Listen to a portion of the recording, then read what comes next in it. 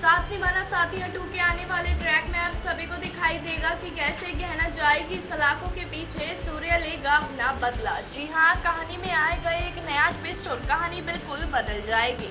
आपको बता दें अपकमिंग ट्रैक के बारे में जहाँ सुहानी और सिकंदर का प्लान हो जाएगा कामयाब और पुलिस आकर गहना को कर लेगी अरेस्ट और कहेगी कि ये जो भी तुमने जहर खाया था ना, ये सब गहना ने ही किया था और ये सब सुनकर सूर्य और गहना के पैरों तले खिसक जाएगी ज़मीन। तो वहीं अब सूर्य जान जाएगा अपने भाई और अपनी माँ का सारा प्लान अब देखना दिलचस्प होगा कि क्या सूर्य बचा पाएगा अपनी पत्नी गहना को ले पाएगा अपने भाई और अपनी माँ से बदला। क्या होगा बाकी शो की कहानी में हम आपको जल्दी बताएँगे अपनी नेक्स्ट अपडेट में। तो तब तक करें इंतज़ार और बने रहिए हमारे साथ। और आज ही हमारे चैनल को सब्सक्राइब करें।